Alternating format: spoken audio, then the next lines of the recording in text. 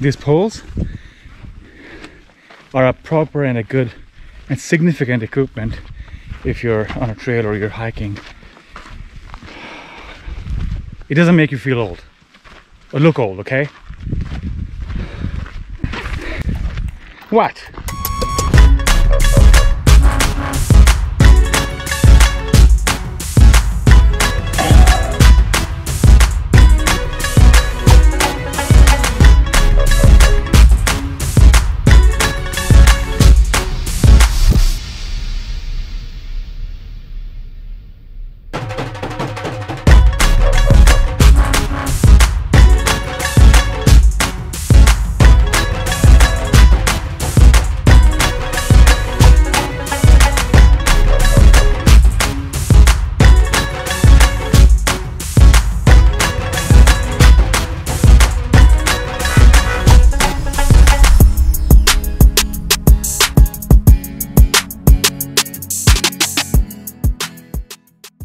Dramatic sceneries, and endless scenic views. As you move further on these terrains, it gets harder to anticipate what's past that horizon. Cutting through vast valleys, canyons, mountains, arches, rugged red rocks, witnessing deserts transforming into vegetation and vegetation into cities state of Utah is magical.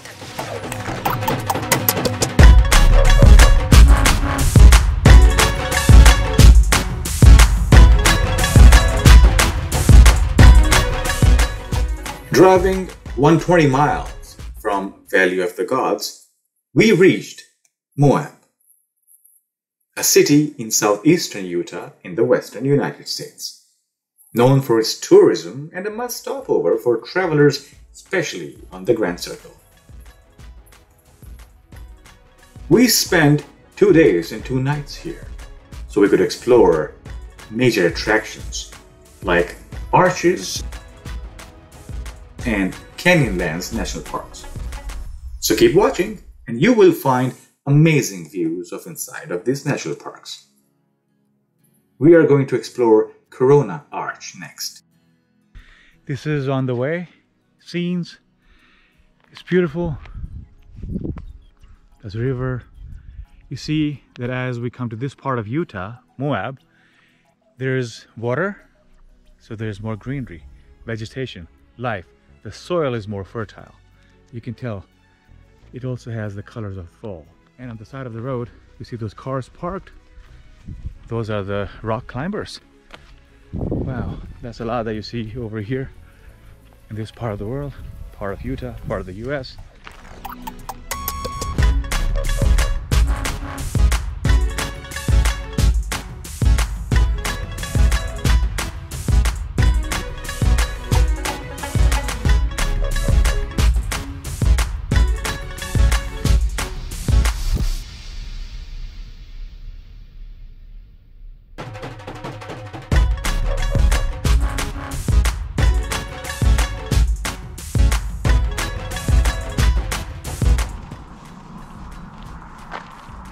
See, these are the drawings.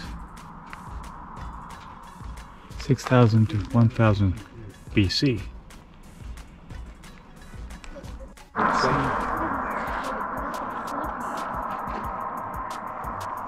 And see along the line, you can see all those. It's interesting. These drawings all over the place, but we only could find out uh, because we had this board here which said petroglyphs which means these drawings by on the wall on the rock by the ancient people. Ancient drawings yeah some more we got there. All those there. There. It goes on and on and goes all the way. Well we gotta rush to the arches. Can't keep doing this they're all over the place. They're everywhere. The Corona arches. And you make sure you have appropriate gear. Uh, people choose to wear shorts.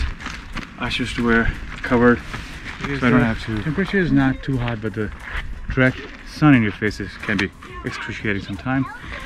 So make sure you have your poles with you. You kind of.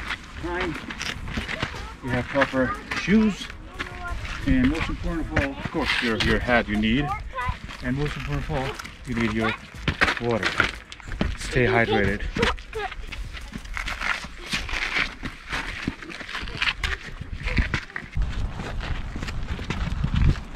It's going to be around 2.2, 2.3 miles of uh, round trip, which makes like more than a little bit more than a mile one way.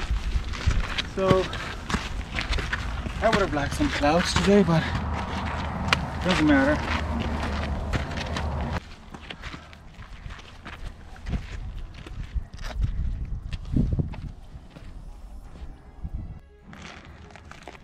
So this is important you need to do. You have to sign your name that you were here so you're accounted for.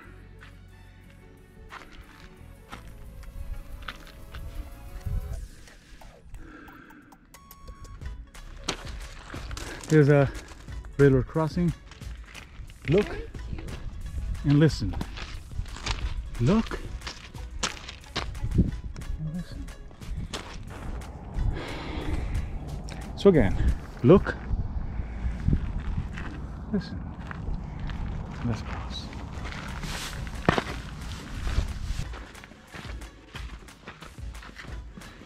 Very narrow passageways.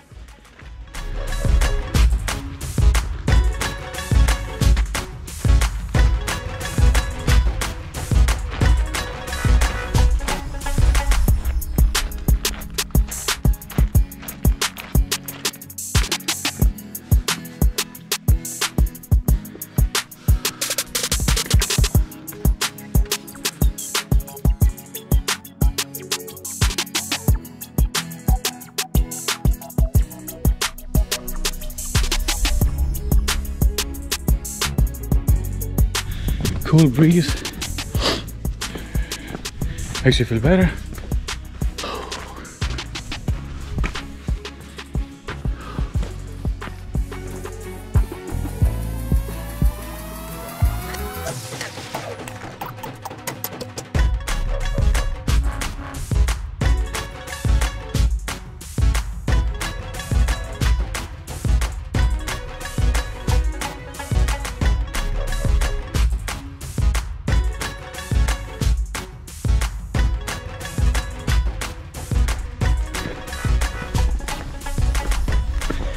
When people come this far, they definitely want to leave a mark.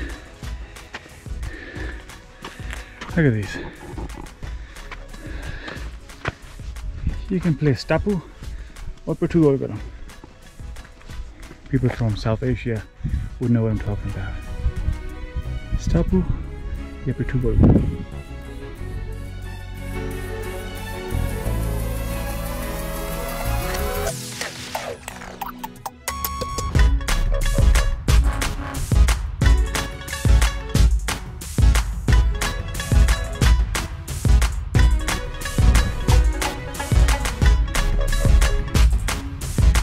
Interesting tree.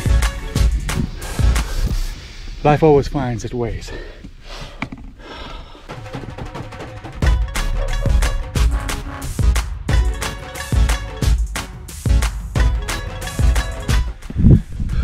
अरे जा पैसे थल्ले चल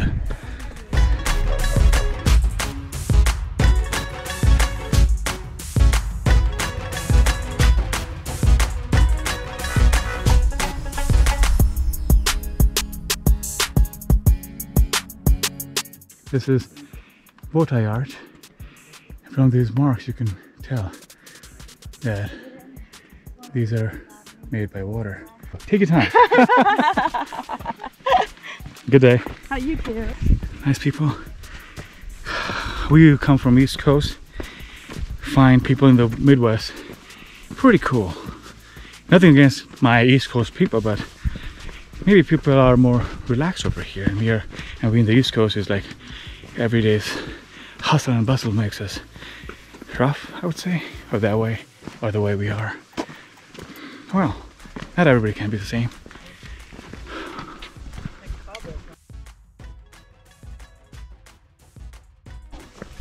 See how this arch has formed over our millions of years.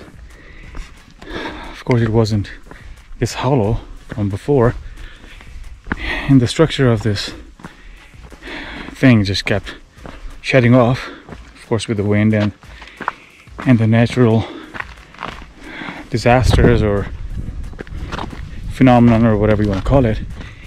And now it presents you with a beautiful arch, and you know, it's not gonna be there forever.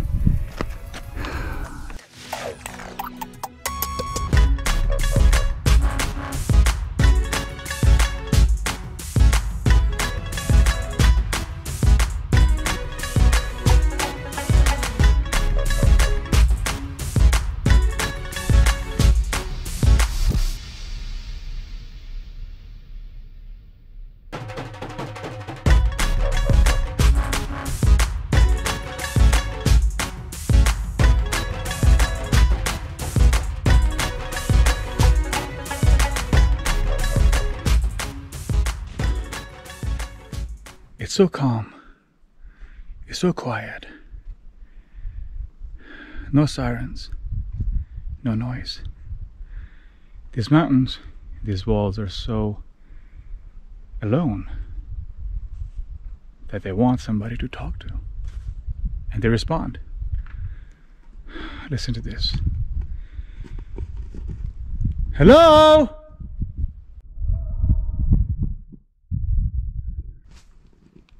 That's cool. I got friends here.